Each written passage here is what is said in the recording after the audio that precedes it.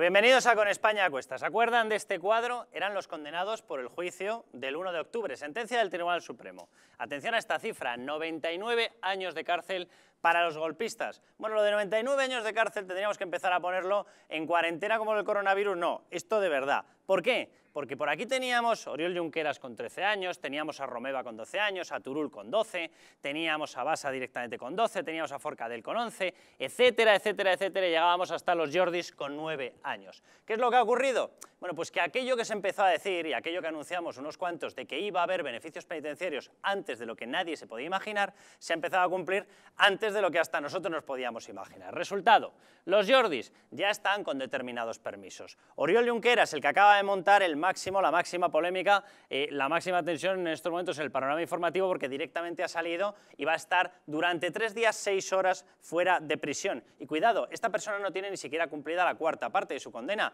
Hay que recordar que el juicio fue hace poquito más eh, de dos años eh, y atención, el momento de la detención, perdón, y en estos momentos con 13 años no le correspondería empezar a disfrutar de esos beneficios penitenciarios ni por lo más remoto, pero él ya ha empezado, ya ha empezado y va a tener esa dedicación. Raúl Romeva, exactamente lo mismo, por cierto, atención a cuál va a ser el concepto por el cual va a estar fuera o va a obtener esos permisos Raúl Romeva, directamente para poder evaluar los acuerdos de paz de determinadas organizaciones internacionales. No sabía yo que era una cosa tan delicada y tan urgente como para que una persona condenada a 12 años de prisión tuviese que abandonar esa cárcel. ¿Quién más ha salido? Todos los que están viendo más o menos, pero alguno de ellos también es muy llamativo.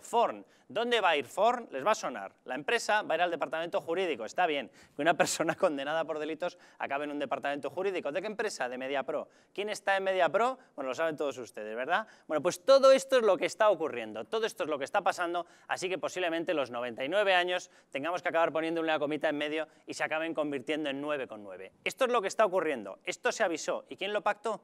Esquerra con el Partido Socialista. La desjudicialización era esto, y ya lo tenemos encima. Esperamos, empezamos, perdón.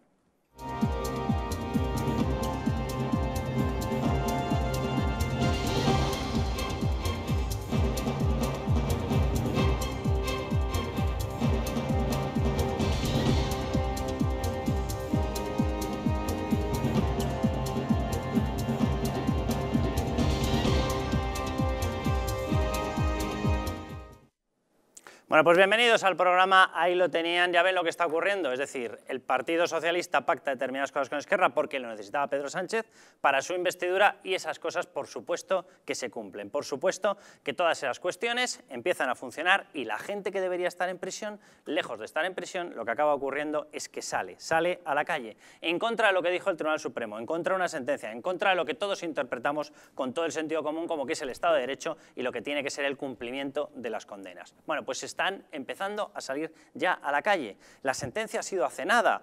Eh, las detenciones se produjeron hace poco más de dos años. Algunos de ellos llevan dos años de prisión preventiva, no llevaban más. Y con dos años de prisión preventiva y unos poquitos meses de prisión efectiva después de la preventiva, en la calle. ¿Por qué? Porque lo pactó Esquerra Republicana con el Partido Socialista, porque lo pactaron porque lo necesitaba Pedro Sánchez, y se acabó. Y a partir de ahí da olímpicamente lo mismo lo que diga la ley de enjuiciamiento criminal, da olímpicamente lo mismo lo que diga el sentido común, da olímpicamente lo mismo lo que hayan dicho las sentencias.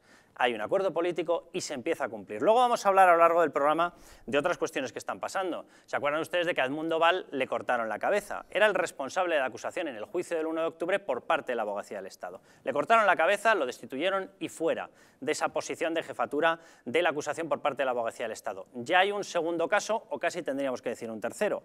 ¿Quién es este segundo casi tercero? Bueno, ella se llama Carmen Tejera. Era la responsable de la misma abogacía del Estado dentro del Ministerio de Hacienda. ¿Cuál fue su labor?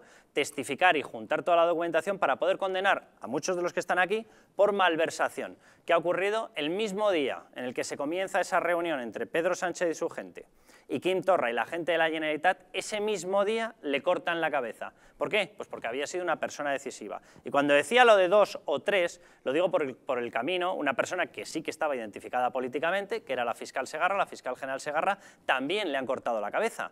Y dirán ustedes, ¿por qué le cortan la cabeza si había sido elegida por el Partido Socialista? Pues porque ella decidió cumplir con su deber y por mucho que tenga determinada ideología, esta persona decidió que les dejaba las manos libres a los fiscales en el juicio. Esta persona también se le ha cortado la cabeza. Resultado, las tres personas clave en la acusación contra el 1 de octubre en estos momentos están ya decapitados. Desde el punto de vista profesional, decapitados. Eso es lo que ha ocurrido con este gobierno. José